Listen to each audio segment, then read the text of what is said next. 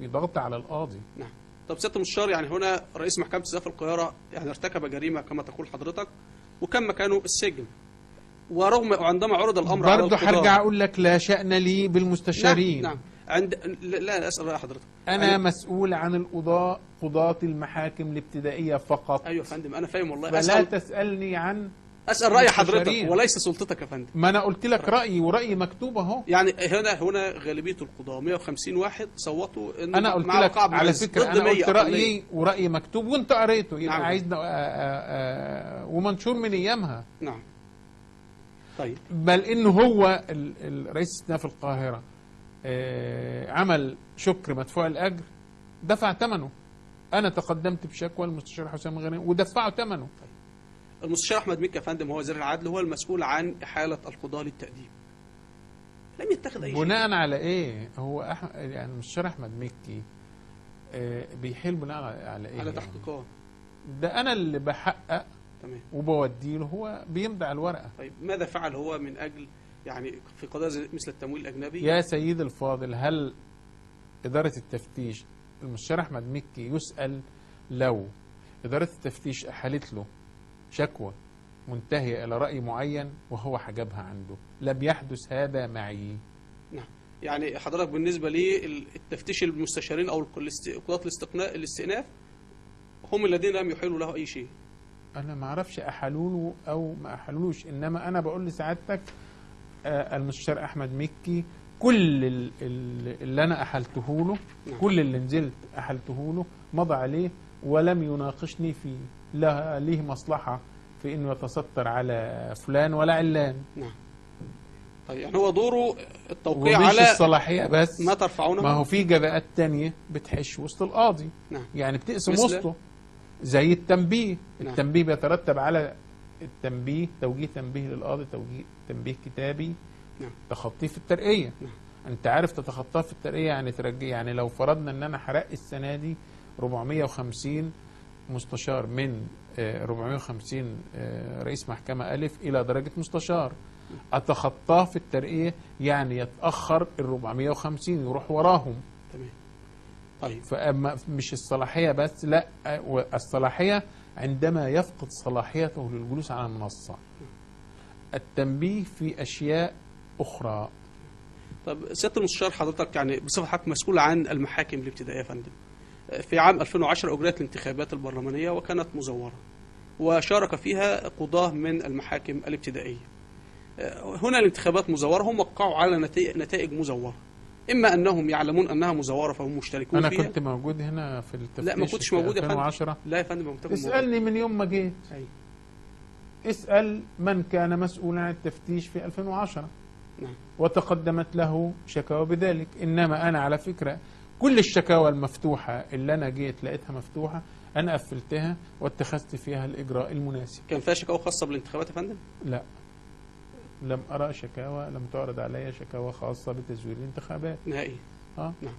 آه، سيادة المستشار هناك حكم من آه، المستشار عادل فرغلي آه، رئيس المحكمة الإدارية العليا يعني منذ عامين قبل خروج المعاش بشأن التعيينات في مجلس الدولة قال فيها نناشد المسؤولين في مجلس الدولة أن يرفعوا الظلم الجاثم على المجلس المتمثل في السماح لطائفة من الراسبين والمتخلفين للانخراط بسلك القضاء. يعني هو بيتحدث إنه مجلس الدولة شوف بس علشان نبقى آه، لأنه آه، بعض الأصوات آه، آه، اللي بتنادي بها دلوقتي يقول فلان جايب جيد جدا تخطوه فلان جايب امتياز تخطوه والدكتور محسوب أنا آه، شفت له حديث بيقول إنه يتعين أن يكون التقدير الجامعي هو المعيار في التعيين أنا بقول له يا دكتور مح- محسوب كيف يكون التقدير الجامعي هو المعيار الوحيد في ظل التفاوت الصارخ في السبعتاشر كلية حقوق الموجودين في مصر بين متشدد ومتساهل. يعني في جامعات فيها 500 واحد جيد وفي جامعات فيها صحيح. 20 واحد جيد صحيح. وفي جامعات فيها مثلا 100 واحد امتياز و100 جيد جدا. هذا الكلام معروف والناس كلها تعرفه إنه الجامع ال ال 17 كلية تتفاوت فيها التقديرات وإنه يعني في كلية فيها مثلا واحد 50 واحد امتياز. إزاي؟ يعني أنا دخلت الكلية عمري ما سمعت كان كانوا بيحكوا لنا إنه اتنين اللي جابوا امتيازات من يوم ما أنشأت الكلية لغاية ما أنا دخلتها سنة 68 اتنين واحد مش عارف سنة كام واحد سنة كام. لأنه دي يعني در- دراسات نظرية مفيش حد فيها. أنا دخلت الثانوية يعني دخلت الثانوية العامة سنة 67 وكان آه، أول أدبي آه، كذا وسبعين. أيوه صحيح. يعني إزاي واحد بيجيب النهاية في العربي؟ إزاي واحد بيجيب النهاية في القانون يا أخي؟ ده القانون كله فلسفة. ما أعرفش أنا يعني فيلسوف هو حتى الفيلسوف بيلاقي فيلسوف تاني يعارضه. فمسألة إن أنا أنا قلت إنه العمل القضائي يحتاج لقدرة وكفاءة معينة خاصة. قد تتوافر في المقبول ولا تتوافر في صاحب الامتياز الجيد جدا. المعيار عايز أعمل معيار ويبقى فيه شفافية ويبقى المعيار ثابت وواضح للناس كلها ولا يمكن العبث به إن أنا أعمل اختبار شبيه باختبار الثانوية العامة على مستوى الجمهورية يتقدم إليه من شاء من خريج كلية الحقوق دون التقيد بتقدير معين وأحط نسبة نجاح معينة لتكن 75% أو 80% اللي ينجح في هذا. الامتحان موحد على مستوى الجمهورية هنا أقدر بقى أقول لك ساعتها إنه هذه التعيينات يبقى فيها شفافية ووضوح وضوابط نعم. واضحة خالص نعم. إنما مسألة إن أنا أعتمد تقرير الخب... ال... ال... ال... الجامعة بس لا استنى طب ما أنا بقول لسعادتك أهو روح شوف التقديرات في الكليات المختلفة مش ممكن. وجيد جدا في جامعة في في كلية من الكليات يساوي مقبول في كلية تانية. بالظبط كده. وإحنا يعني إيه في في الاختبارات اللي بنعملها يمكن نيابه تلاقيه جايب امتياز وما عندوش طب يا فندم اللي حصلت نهائي. اللي اتخرجوا من كليات الحقوق على مدار سنوات يعني نعم. رسبوا عام وعامين والتحقوا بالقضاء بعد ذلك. أنا بقول لسعادتك إنه يا سيد الفاضل ال- العمل في القضاء له طبيعة خاصة بتاع الامتياز. يعني هذا يصلح يعني الذي وهو رسب. يعني يا يا أستاذ صابر يعني هو كل اللي بيجيب امتياز في كلية الإعلام ينفع مذيع؟ لا. ينفع صحفي؟ لا طبعا. هو طبعا في النهايه الأمر يخضع لسلطة يا سيد القضاء. الفاضل مم أساتذة كلية الحقوق يا أخي. هم كلهم ينفعوا قضاه ولا محامين؟ لا. طب ما فيه منهم أستاذ مشهود له بالكفاءة كأستاذ. في الجامعة. إنما محامي فاشل ما ينفعش لا محامي ولا طب قاضي يا فندم الذين إنما ينفع الذين- أستاذ جامعة ما فيش أخوه. يعني أستاذ جامعة كفء قادر على توصيل المعلومة وقادر على إنه البحث والكلام ده. يعني الذين رسبوا في ال- في الامتحانات يا فندم أخذوا كليات الحقوق على أكثر من سنة. هل هؤلاء يحق لهم دخول القضاء أم لا؟ يا سيد وبعضهم دخل بالفعل القضاء. أي حد في الدنيا يحق له دخول القضاء إذا زي ما بقول لك كده عملنا امتحان على زي أنت حد بيشكك في الثانوية العامة؟ لا. ها؟ حد بيقول ده سبق ده وما ده سبقش ده؟ ما تعمل يا أخي أنا بقول لسعادتك والكلام ده أنا قلته 100 مرة. نعم. اعمل اختبارات لكل خريج حط امتحان موحد على مستوى الجمهورية. فندم أيضا اللي يتقدم ويجيب 80% فيه أو 85% أو 90% ينجح لكن يعني ست مشار هذا الحكم صادر من المحكمة الإدارية العليا هي التي قالت فيه إنه مجلس دي الدولة نظر. سمح بط... لطائفة من الضعفاء يعتلوا غلط. القضاء ده هذا حكم إذا كان قد سمح القضاء. يا سيد الفاضل له إذا. كان قد سمح لضعيف بالالتحاق بالقضاء خطأ مقبول وقاضي كفء أحسن من الجيد جدا واحسن من الامتياز لأنه زي ما أقول لك العمل القضائي يحتاج لمواهب. وعلشان كده عايز تحط معيار واضح لا لا ما حدش يقدر يتكلم فيه ولا يقول ده في عبث وفي مجاملات وفي محسوبيات والكلام ده كله. اعمل لي حط امتحان على مستوى الجمهورية له من يشاء. من خريج كلية الحقوق. ما تقوليش بقى ده مقبول وده جيد وده مش عارف إيه لأنه مش ممكن. الجيد في عين شمس ولا اسكندرية والقاهره زي أو المقبول هنا يساوي مقبول هناك. لا. طب سياده المستشار أسأل حضرتك بصراحة شديدة. ها. بعض القضاه أبنائهم وبناتهم كلهم في القضاء. هل هذه صدفة؟ سيد الفاضل أنا بقول لك أهو. كل ال- الأسلوب التعيينات السابق خطأ. خلاص؟ تمام. إنما لطريقة تعيين صحيحة شفافة ما فيهاش لا شبهة. ما فيهاش طيب. شبهة مجاملة ال- ال- حتى. ال- اعمل اللي بقول لك ال- عليه. ال- اعمل. اختبار على مستوى الجمهورية زي الثانوية العامة. انت علمت بأن هناك قضاة تدخلوا تعيين أبنائهم في القضاء؟ ما حدش بيتدخل في تعيين ابنه. يعني كان في قضاة بيذهبون لمجلس القضاء الأعلى يطلبون يا سيد قل له يا هذا سيد- ابني يعني كنا في دار يا القضاء سيد الفاضل كان يجوز التعيين بمقبول. فكان كله بيتقدم. وكان القاضي بيذهب لمجلس القضاء ليوص ليوصي على ابنه. هو أنت متصور أي. المستشار مش هيقدم لابنه. ويذهب يو- ليوصي عليه. أوصي عليه ليه بقى؟ يتصل بأعضاء مجلس القضاء نفسهم ويقابلهم. ما أنا ما شفتش لا أنا اتصلت بالقضاء ولا شفت حد بيتصل بأعضاء مجلس القضاء. وأنا حضرت نعم. وقعه لحسام بيه الغرياني رايح مستشار طرده تاني. أدي رئيس محكمة النقض أدي رئيس مجلس القضاء الأعلى. نعم. أنا حضرت الواقعه دي إن واحد رايح يوصي على ابن حسام الغرياني طرد طرده من المكتب نعم. ها؟ كان هناك كتاب لإنجازات نادي القضاه خاصة بمجلس الاداره برئاسة المستشار أحمد الزين كان فيه أنه أرسل آه، كان قبل الثورة عفوا أرسل فيه لحبيب العدل وزير الداخلية بيوصيه بحجب كليات الشرطة لأبناء القضاه وكان ده شيء علني.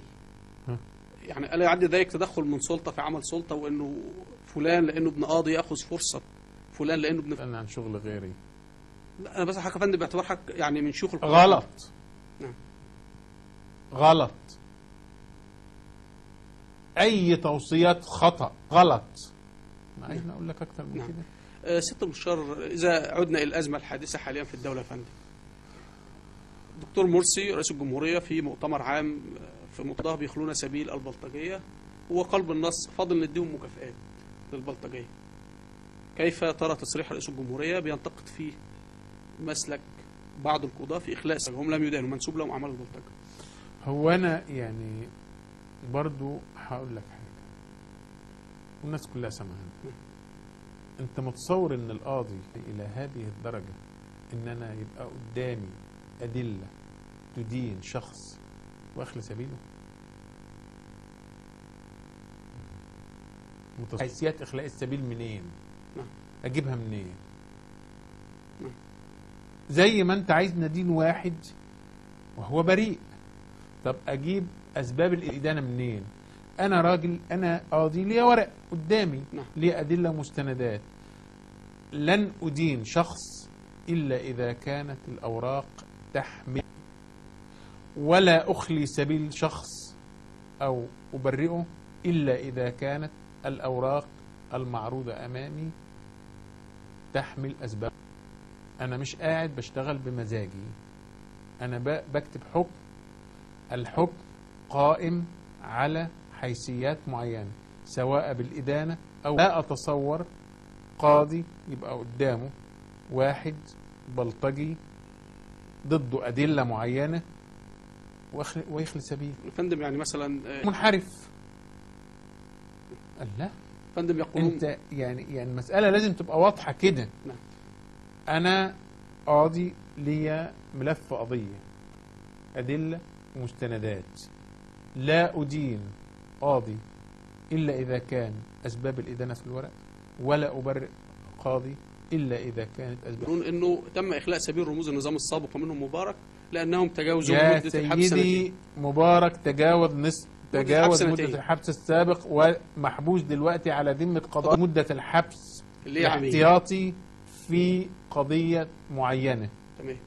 محبوس على ذمة قضايا أخرى. الناس زعلانة من إيه؟ يقولون يعني مثلا ممدوح إسماعيل محامي عدل. يا فندم إن محكمة الجنايات القاهرة تحبس المتهمين في مخليه الزيتون احتياطي منذ ست سنوات.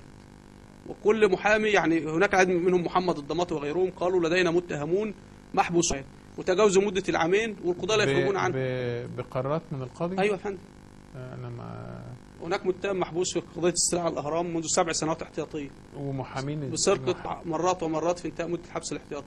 والقاضي يعني أو القضاة في هذه الحالات يقولون المحامين وهذا ما سمعت منهم ومعهم أرقام القضايا يقولون إن القضاة يقولون لهم الحبس الاحتياطي لمده عامين أمام النيابة وليس أمام امام النيابة. وهذا يعني هم يقدموا نماذج. فهنا هنا التساؤل لماذا في قضية؟ نفاجئ إن ذات الواقعة لا يطبق على نفس القاعدة. أنا ما أعرفش ال- القاضي بيعمل كده ليه؟ نعم. اسأل. إنما عايز تعدل لي نصوص قانون الإجراءات الجنائية عدلها وأنا تحت أمرك. أنا بطبق قانون. نعم. أنا ما اشتغلش بمزاجي. نعم. أنا أطبق القانون في الدعوة. القانون بيقول لي الحب مدة الحبس الاحتياطي 18 يا سيدي خليها 18 سنة وأنا تحت أمرك. نعم. قال لا أنت زعلان ليه؟ تقول لي مدة الحبس سنة ملتزم بيه 18 شهر ملتزم بيها 18 سنة ملتزم بيها 18 قرن ملتزم بيها. طيب. أنا بطبق قانون ما بشرعش نعم. المشكلة حتى في اللي بي بيهاجم الكلام ده هو المشرع نفسه يا سيدي ما تعدل النص هم يسألوني عن ال- القضاة لماذا يعني في نص واحد تطبيقات مختلفة محكمة النقض نعم. ودي طيب. مهمة محكمة النقض نعم. توحيد تفسير وتطبيق القانون في مصر كلها سياده المستشار حضرتك أحلت آه، القاضي وليد شرابي المقدم من أجل مصر للتفتيش القضائي. إلى أي شيء وصل أنا؟ ما أحلتوش على فكرة. أمال فندم ده شكاوى بناء. أنا ما بحلش حد. نعم يعني آه شكاوى بناء على شكوى مقدمه قدمت ضدي إنه الراجل مش فيها تحقيق. نعم. الوقائع اللي كانت منسوبة اليه يا فندم. ما أنا بقول لك أهو. ما الوقائع اللي اشتغل سياسة. سياسة. مثل؟ يشتغل سياسة عمل إيه؟ يعني مثلا اعلن نتيجه قبل مش مقر الاخواء ما ده كلام إيه؟ يعني أو ظهر في مظاهرة قدام آه، جامعة القاهرة. آه، آه، قالوا فيه. التحقيقات انتهت يا فندم؟ يعني أحيل ولا سيح... نتيجة التحقيقات. هيبت فيها. شوف ما يعني ما تسألنيش عن تحقيقات لأن الكلام ده سري. أيوه سري كله طبقا س- ولا تسألني على التحقيقات ولا نتائجها. نعم. آه اتحقق اتحقق معاه و مش معاه لوحده ومع آخرين. نعم. بس. طيب سياده المستشار أيضا المستشار أحمد الزند رئيس نادي القضاه وعقد يعني جمعيات عمومية. حضرها متهمون في قضايا قتل وحضرها أيضا سياسة وأحزاب. خطأ. عمومية. في فرق بين الجمعية العمومية والاجتماع العام. الجمعية العمومية يتعين ألا يحضرها إلا قضاة طيب. الجمعية العمومية لنادي القضاة الجمعية العمومية للمحكمة يحضرها قضاة المحكمة فقط. هل تم اتخاذ أي إجراءات؟ حتى لا يجوز لمستشار تاني في محكمة تانية يحضر جمعية عمومية بتاعت محكمة أخرى. هل تم اتخاذ أي؟ آه طبعا. مع أحمد الزند؟ آه طبعا. اتخذ اتخذ معاه إجراءات في آه في التفتيش؟ تحقيق مفتوح. في التفتيش؟ التفتيش بتاعنا؟ أمال في التفتيش تفتيش ال- تفتيش؟ يا ده مستشار رئيس استئناف. نعم. مش تبعي. طيب مش معه. تبع إدارتي. يعني حقق معه أم لم يحقق والله ما بس في شكاوى قدمت ضده في دي في الواقعة ده التحقيق انتهى لإيه؟ نعم. طيب سيادة المستشار كيف ترى دعوة المستشار أحمد الزند بتقديم بلاغات للمحكمه الجنائية الدولية وأنه يجب على الرئيس الأمريكي وأمريكا أن ترفع الضغط الواقع على تحت فندم يعني شيوخ القضاء فندم. أنا ما اتدخلش أنت في- يا فندم شيخ من شيوخ القضاء وك يعني عضو في نادي القضاء قادم فيه. أنا ضد الاستقواء بالخارج في نعم. أنا احل مشاكلي هنا في مصر. عمري ما هلجأ للخارج عشان يجي يحل لي مشاكلي ولا هستق لا خطأ. أنا مش هلجأ لأمريكا عشان تيجي تحميني. حكومتي تحميني إنما أجيب آه، استخوى بالخارج أو ألجأ للخارج ده كلام أنا ضده. طيب سيادة المستشار. إنما المستشار الزند هو شأنه. ده لدينا رئيس. يعمل يعمل إيه؟ اللي يشوفه مجلس إدارة النادي إنما أنا ما أنا ضد الكلام ده كله. نعم. يا شخصي رأيي الشخصي أنا ضد الاستقواء بالخارج بكافة صوره في أي حاجة على فكرة مش في القضاء بس. طب موقف وزير العدل بقى المستشار أحمد مكي من هذه الواقعة. أعتقد إنه هو لا يوافق على هذا الكلام. يعني هل اتخذ اجراء؟ هو في سلطته الدعوة التأديبية. هل حقق معه بر صحته آه، دانه تركه تفرج عليه؟ يعني ما عمل إيه؟ إنما المستشار أحمد مكي ليه شغل وأنا ليا شغل. آه، سياده المستشار لدينا ثلاث سلطات. كل سلطة بتتهم الأخرى. السلطة القضائية بتتهم آه، السلطة التشريعية بالتغول عليها وان هي بتسبها. جلسات مجلس الشعب من قبل. السلطة التنفيذية أيضا متهمة من قبل القضاء أن هي أيضا بتتغول عليها كما قال الدكتور مرسي في بشأن البلطجية في المقابل هم أيضا القضاة بأنهم يتربصون بالمؤسسات المنتخبة وأن المحاكم شغالة تحل أي مؤسسة منتخبة من المخطئ في السلطات الثلاثة يا فندم؟ الخلل مشترك يا جزئي. السلطات يتعين على كل سلطة أن تحترم الأخرى وأنا الكلام ده مكتوب على فكرة ومنشور. وأنا قلت في دستور يا فندم. أنا ضد الإنذار اللي وجهه نادي القضاة لمجلس الشورى. لا. ده خطأ. من الذي أخطأ؟ ويدخلنا في كل هذا الصراع السلطة التشريعية أم السلطة القضائية؟ في الأزمات الحديث الحالية في البلد نتيجة في الصراع بين السلطات. كلهم أخطاء خطأ السلطة التنفيذية ممثلة في الدكتور. متمثل فيها يا فندم في الدكتور مرسي. إيه؟ يعني ما الخطأ الذي وقع من جانب الدكتور مرسي إنه ما حدش قادر يدرك أن أنه يتعين الفصل بين سلطات الدولة. ليس فصل القائم على احترام كل يعني ما سلطة الذي فعله؟ للسلطة الأخرى؟ ما الذي فعله مرسي فيه اعتداء على السلطة القضائية؟ يعني يعني ممكن أقول لسعادتك آه، إنه ما كانش صح من رئيس الجمهورية إنه آه، يتهم القضاه بأنهم آه، بيخرج بلطجي أنا مصلحتي. آه، ده يعني أنا بترعب لما أشوف بلطجي في الشارع. أو مخلي سبيله. أنا مصدق إنهم يمسكوه نعم. أو مخلي سبيله. عمري ما هخلي بل...